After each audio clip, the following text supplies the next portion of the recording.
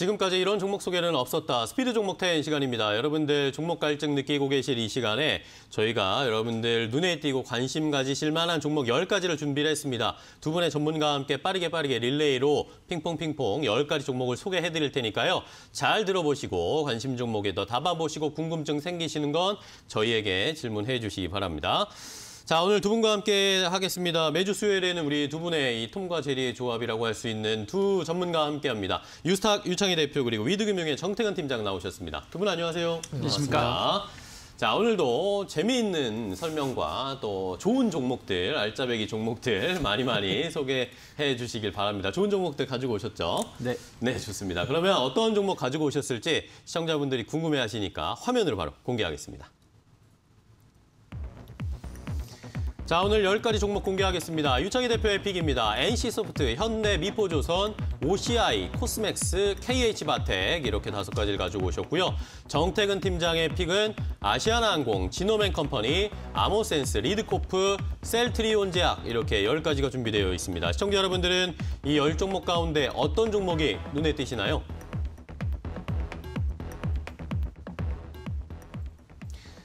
자, 두 분이 10가지 종목을 가지고 오셨습니다. 유튜브에서도 고독한 여우님이 톰과 제리 very welcome요 라고 이야기해 주셨고 어, 자윤님도 두 분 어서 오십시오 라고 인사 해주시면서 시작을 해보도록 하겠습니다. 자, 그리고 저희가 10가지 보여드렸잖아요. 시청자분들 보시다가 어, 이 종목 내가 좀 궁금했다. 내가 매수할까 말까 좀 고민하고 계셨는데 궁금한 점이 있다, 매수가 목표가 궁금하다 하시는 분들은 유튜브 댓글로 달아주셔도 되고 아니면 문자 샵 3772번으로 문자로 궁금한 점을 질문을 해주셔도 저희가 보고 어, 그 내용을 조금 더 포함해서 최대한 자세하게 설명해 드릴 테니까요. 많이 참여해 주시면서 함께 어, 시청해 주시기 바랍니다.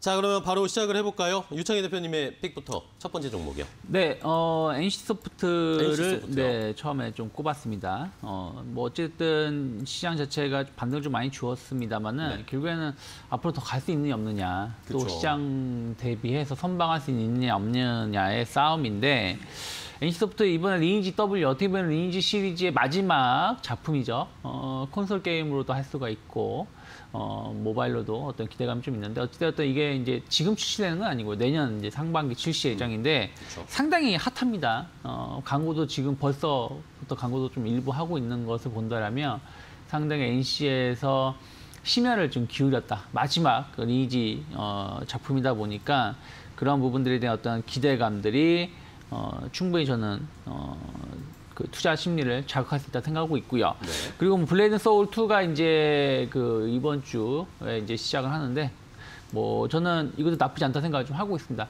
NC 그 리니지 시리즈하고 블레이드 앤 소울 시리즈 자체가 NC 소프트는 계속 성공했었던 어, 작품들이기 때문에 충분히 하반기 실적을 견인할 수 있다. 그동안 약간 신작 공백이 좀 있었거든요. 경쟁 업체 대비해서. 네. 앤 소울이 이것을 상당히 좀 커버해 줄 수 있지 않을까 생각을 좀 하고 있고요.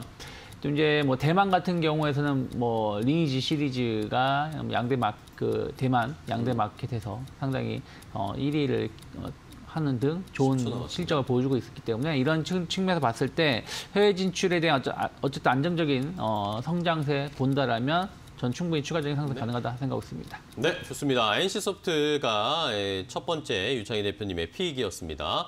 지난주에 한번 급등세가 좀 나왔다가 자, 지금 아직도 추가 상승은 조금 지지부진한 상황인데 오랜만에 또 신작 기대감도 있고 어, 리니지로만 울고 먹었다가 이제 또 새로운 신작이 어, 좀더 모멘텀이 될 수 있지 않을까라는 기대를 해보겠습니다. 자, 다음 종목 갈까요? 정태근 네. 팀장님은요? 오늘도 앵커님은 톰 역할을 하실 건가 봐요. 네. 네, 첫 번째 뭐 아시아나항공입니다. 아시아나항공이었습니다. 아시다시피 뭐 백신 정식 승인 이 얘기를 했고 항공하고 여행주가 강세입니다. 네, 그렇죠. 강세인데 너무나 당연하게 항공 여행을 볼 수밖에 없는데 그럼에도 불구하고 아시아나항공을 말씀을 좀 드리는 건 자, 일단은 백신 접종 이슈가 발생되면서 항공 여행이 같이 강세를 보였습니다. 그러면 네. 여객 수요가 증가할 것이다라는 기대감 때문에 아시아항공이 강세를 보였거든요. 그리고 특히나 아시아항공뿐만 아니라 어제 뭐 진에어라든지 티웨이 항공이라든지 이런 종목들이 동반적으로 강세를 보였는데 이게 공통점이 있다면 단거리 해외 노선입니다. 음, 어, 그동안은 대한항공이 여타 LCC라든지 아시아나항공 대비 상대적으로 선방할 수 있던 이유가 장거리 해외 노선에 특화가 돼 있고 화물 노선이 또 있기 때문에 수익이 났었거든요. 그런데 상대적으로 아시아나항공이라든지 뭐 진에어라든지 이런 LCC 같은 경우는 그런 한강 화물 쪽보다는 여객 수요가 좀 크다 보니까 그리고 단거리 동남아라든지 중국, 일본 쪽으로 단거리 특화가 돼 있다 보니까 이 코로나 피해를 상당히 크게 봤습니다. 그런데 이제 백신 접종 이슈가 발생되면서 여객 수요가 증가를 할 것이다.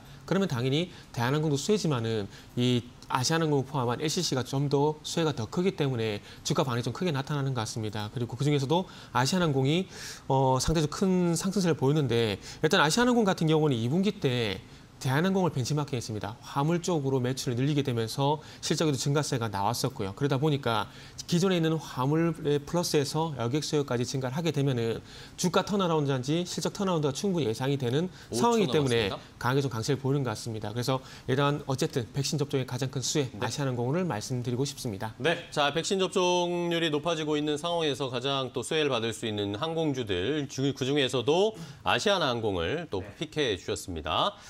자, 저희가 이렇게 종목 소개 두 가지를 해드리고 있는 상황에서 중국 쪽 시장 개장을 해서 좀 체크를 하고 갈게요. 자, 상해 종합지수 중국의 시장이 출발했는데 강보합권에서 0.1% 상승하면서 출발하고 있습니다. 3,517포인트 선에서 출발을 했는데 자, 어제도 뭐 중국 시장도 뭐 나쁘지 않게 1%대 상승세로 거래를 마감했는데 오늘도 상승세는 일단 이어가고 있고요. 오늘 뭐 우리 시장을 포함해서 전체적으로 동아시아 쪽의 증시는 어, 좀 빨간불을 거의 켜고 있는 상황입니다. 홍콩 항생지수 볼까요? 홍콩 시장도 역시 강하게 0.79% 상승하면서 출발하고 있습니다. 25,930포인트 선에서 출발한 홍콩 항생지수 확인해 봤고 일본 니케이 지수도 한 0.33% 정도 상승세 보이고 있고 우리 시장 코스피는 어, 0.12%로 상승 탄력이 조금 줄고 있네요. 강보합권에서 현재 우리 시장까지 거래되고 있다라는 거 확인을 해 봤습니다. 자, 다음 다음 종목을 이어가겠습니다. 이번에는 유창희 대표님의 두 번째 종목이죠. 네, 현대 위포조선 선정했습니다. 네. 조선주들이 최근에 상당히 좀 강한 흐름을 좀 보여주고 있습니다. 물론 이제 실적은 최악인 네. 상황인데 그렇죠. 하반기에 대한 기대감들, 내년에 대한 기대감들이 나오고 있는 것이 조선주를 좀 이끌고 있는 것이 아닌가. 물론 이게 기술적 반등일 수도 있겠습니다만 어찌되었든 역대 최대 수주 모멘텀이 이어지고 있고 이러한 것들이 업황의 바닥이다라는 것을 확인시켜 준 것이 아닌가 생각하고 있어요. 최근에 조선주가 올라오는 것은 만약 그게 아니라 그러면 뭐 조 단위의 적자, 혹은 뭐 몇천억 단위의 적자가 발생을 했을 때 뭐 주가가 급직 낙하해야 되는데 그러지 않았기 때문에 저는 업황이 이제 바닥을 쳤다라는 것을 어, 확인시켜주고 있다 생각 좀 하고 있고요. 그리고 이제 그 그러한 이유 중에 하나는 현재 실적은 과거에 시- 수주한 것들이 이제 실적이 반영되는 것이고 지금 수주하는 것은 이제 정말 빨라야 한 2년 뒤 뭐 이런 이제 이때 반영되는 것이기 때문에 그러한 부분에 시간차가 존재하고 있는 것이고 그러한 것들이 이제 일정 부분 주가에 좀 반영이 되고 있다. 그래서 이런 거에 대한 이제 우려감들은 몰랐을 땐 상관이 없지만 이제 대부분 다 아는 내용이다 보니까 영향력이 제한적이다 생각 좀 하고 있고요.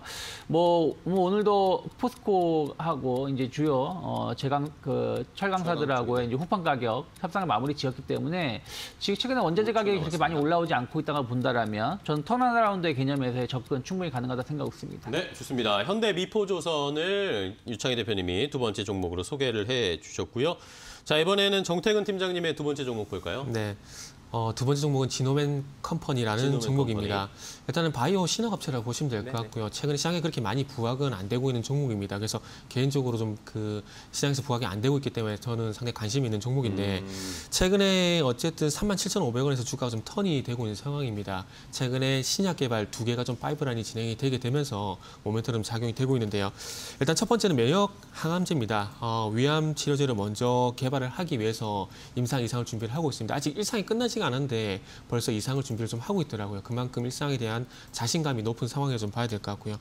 어, 또 특이점은 화이자 머크로부터 그 임상이 필요한 그 바벤시오, 그러니까 면역 항암제 바벤시오를 병용 요법으로 현재 사용을 하면서 임상을 진행을 하고 있는데 이상까지 무상으로 공급받기로 이제 예정이 돼 있습니다. 그리고 앞으로 기술 수출도 예정이 돼 있는데 이거는 아무래도 기업 규모를 봤을 때 기간이란지 임상 비용에 대해서 부담이 될 수밖에 없을 것 같아요. 그러다 보니까 기술 수출을 통해서 추가 임상 좀 진행할 것 같고요. 그리고 자폐증 치료제 후보물질도 이제 진행을 하고 있는데 현재까지 한국도 그렇고요. 그 미국이란지 글로벌도 마찬가지로 자폐증 치료제가 없는 상황입니다. 그래서 거의 최초라고 보시면 될 것 같은데 만약에 진짜 개발이 된다면은 세계 최초 타이틀도 가져갈 수가 있을 것 같습니다. 그래서 최, 어, 그래서 최근에 이 신약 개발 모멘텀으로 해서 바닥에 좀 턴이 되고 있는 상황이기 때문에 한번 관심을 가져보면 좋을 것 같아서 준비를 했습니다. 네, 좋습니다. 지노만 컴퍼니를 정태근 팀장님이 두 번째 종목으로 가지고 오셨습니다. 자폐증 치료제가 앞으로 또 모멘텀이 될 수 있을지 한번 기대를 해보겠습니다. 살펴보겠습니다. 자, 다음 종목 하겠습니다. 이번에는 유창희 대표님의 세 번째 종목 OCI 가지고 오셨는데 OCI 오늘 조금 상승세가 나오고 있어요. 네, 뭐 최근 3거래일 어, 상승, 상승이 좀 나오고 있는데 뭐 폴리실리콘 가격 상승이 저는 계속해서 이어질 수 있다. 그러니까 그 수혜를 입을 수 있다 생각하고 있습니다. 그래서 2분기 실적 나쁘지 않았었고 약간 그 최근에 OCI가 좀 하락했던 것이 폴리실리콘 가격의 피크가 아닐까. 뭐 이러한 얘기는 꼭 OCI뿐이 아니라 거의 대부분 제조하는 섹터는 뭐 2분기, 3분기 피크 우려감들이 좀 있었고 그런 것들이 주가를 하락시켰는데 저는 충분히 그렇다고 하더라도 뭐 급락 과거와 같으면 급락세는 아니지 않을까. 오히려 뭐 일시적 조정 이후에 왜냐하면 지금 워낙에 태양광 어, 설치를 많이 하고 있기 때문에 폴리실리콘의 수요는 계속해서 견고해질 것이고 뭐 가격 하락은 상당히 제한적이지 않을까 생각 좀 하고 있습니다. 그리고 뭐 그 폴리실리콘 말고도 화학 및 카본 사업 부분의 영업이익이 상당히 어, 개선세를 보여주고 있고 어, 지금 이제 아까 뭐 현대미포조선 말씀드렸습니다만 네네. OCI가 참 그런 게 비슷한 관점인 것 같아요. 업황 사이클은 여전히 나쁘지 않습니다. 특히 또 미국이 어, 대규모 어, 경기 경기 부양을 하기 위해서 투자를 하는 부분들 이러한 것들이 또 신재생 에너지 쪽 특히 바이든 정부는 태양광 쪽에 상당히 관심이 많기 때문에 이런 부분들에 대한 어떤 수혜 에, 기대 충분히 여전히 남아 있다 생각 좀 하고 있지만 또 말씀드린 것처럼. 업황 피크에 대한 우려감들 이런 것들이 좀 있습니다. 하지만 업황 피크에 대한 우려감은 앞에서 앞에서 또 말씀드린 것처럼 주가 가격이 하락이 어느 정도 반영시켰기 때문에 충분히 긍정적인 이슈로 볼 수 있지 않을까 생각하고 있습니다. 네, 좋습니다. OCI까지 함께 확인을 해봤습니다. 최근에 다시 상승 탄력이 조금씩 붙고 있는데 뭐 어쨌든 친환경과 관련된 이야기, 미국 쪽에서 인프라 투자 이런 것에 수혜를 크게 받을 수 있겠죠. 앞으로도 상승할 수 있을지는 계속 좀 확인을 해보겠, 해보겠고 자 이번에는 정태근 팀장님의 세 번째 종목이죠. 어떤 건가요? 세 번째는 아모센스입니다. 아모센스요? 네, 오늘 준비한 종목 중에서 가장 기대를 하는 어우, 종목 중에 하나인데요. 탑픽인가요? 네. 어, 앞으로 메타버스 부분이 좀 부각되면은 다시 한번 또 한번 달려가지 않을까 하는 음, 생각이 네네. 들고 있는데 지금 어제 그 시장 특징주 뉴스를 보시면 아시겠지만 뭐 자율주행 핵심인 전장용 RF 모듈 개발 성공을 했다는 얘기가 음. 나왔고요. 그리고 전기차 기- 전기차에 적용 가능한 차폐시트 뭐 특허를 취득하고 있고 뭐 개발을 진행한다 이런 얘기들인데 그 이전부터 아모센스 같은 경우는 차폐시트 관련해서 상대적 모멘텀이 있었고요. 그리고 개인적으로 UW라는 그 제품이 나왔던 그러니까 사물 인터넷 토탈 솔루션이라 보시면 될 것 같은데 UW 같은 경우에 낮은 전력으로 대용량의 정보를 전송하는 기술이라 좀 보시면 될 것 같습니다. 어. 5G의 단점이 어, 대용량의 어, 정보를 실을 수가 있지만은 이 주파수 거리가 짧은 게 단점인데 그런 부분과 합쳐서 이 UW 기술과 5G, 6G 기술은 아마 같이 가지 않을까 대용량 정보 전송이 네. 가능하다는 측면에서 그래서 한번 그래서 관심을 가지면 좋지 않을까 생각을 하고 있고요.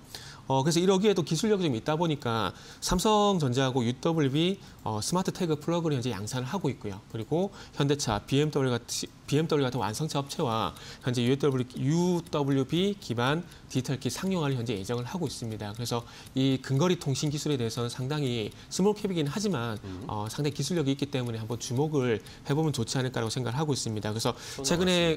그 코스닥 시장 하락 때문에 좀 조정이 있었는데 앞으로 서두에 말씀드렸듯이 메타버스가 다시 부각이 되면은 한번 관심을 가져볼 만한 종목이다라는 말씀을 좀 드리고 싶습니다. 네, 좋습니다. 정태근 팀장님 오늘 가지고 오신 종목 중에는 가장 top pick으로 꼽아 주셨습니다. 아모센스 어, 다시 메타버스 이야기가 나오면 테마가 엮일 수 있는 또 좋은 모멘텀 상승을 할 수 있는 이유를 가지고 있다라는 의견 주셨고요. 자 이번에는 유창희 대표님의 다음 종목으로 갈게요. 네, 뭐 정태근 팀장님이 아까 그 아시아나항공 하셨는데 사실 제가 대한항공 하려다가 먼저 종목을 선택을 그러세요? 해서 빼앗겼습니다. 그래서 네. 좀 비슷한 이슈가 있는 소비주 어. 코스맥스를 선정을 좀 했습니다. reopening 됐을 때 네. 수 어쨌든. 뭐 코로나 그 델타 변이 바이러스가 뭐 무섭다 아니면 네. 별거 아니다. 지금 약간 이제 다 갈리는 것 같아요. 국가별로 대응하는 방법이. 그러니까요. 하지만 어찌되었든 코로나 잡힌다라는 이 기조는 계속 이어가는 것 같습니다. 그러다 보니까 최근에 어, 항공주들이 다시 좀 비상을 하는 부분들이 있고 소비주들이 이번 주에 많이 올랐습니다. 물론 이제 기술적 반등의 영역에 놓여 있다라고 말씀드릴 수 있겠습니다만은 어찌됐든 이제 그 코로나 확산 때문에 소비주들이 좀 회복될 수 있다는 우려, 기대감이 이제 한 달 사이에 우려감으로 발전되면서 주가 조정이 많이 나왔습니다. 하지만 전 뭐 길게 봤을 때는 이거는 너무 걱정할 필요는 없다 생각 좀 하고 있고요.